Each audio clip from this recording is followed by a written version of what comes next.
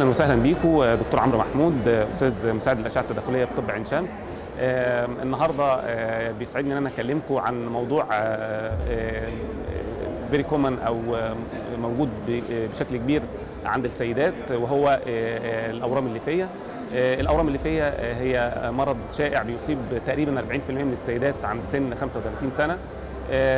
الأورام الليفيه بتسبب لدى السيدة آه، كثير من الأعراض منها آه، اضطرابات الدورة الشهرية آه، النزيف ال- بتأثر على المريضة بشكل إنها بتضغط على المستقيم أو المثانة وبالتالي بتؤدي إلى الإمساك المزمن أو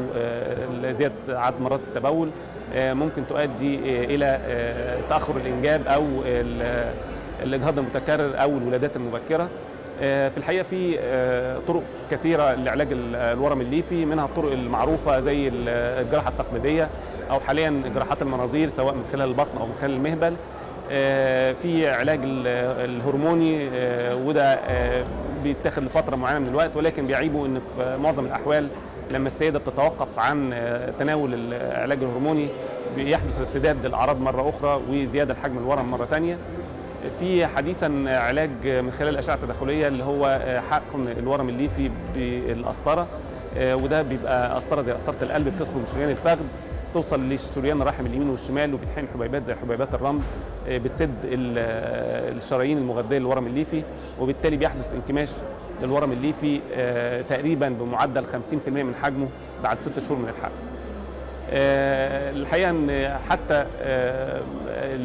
ما بننتظرش الست شهور لحدوث اختفاء للأعراض لدى السيدة بل على العكس يمكن من خلال بعد أول أسبوع من الحقن بتختفي الأعراض وخاصة أعراض النزيف وبيحصل ضمور للورم الليفي آه، مع الوقت وده بيحسن من ال- الأعراض لدى السيدة على اختلافها سواء من الضغط على الاعضاء الأخرى أو النزيف أو في بعض الأحيان من تأخر الإنجاب.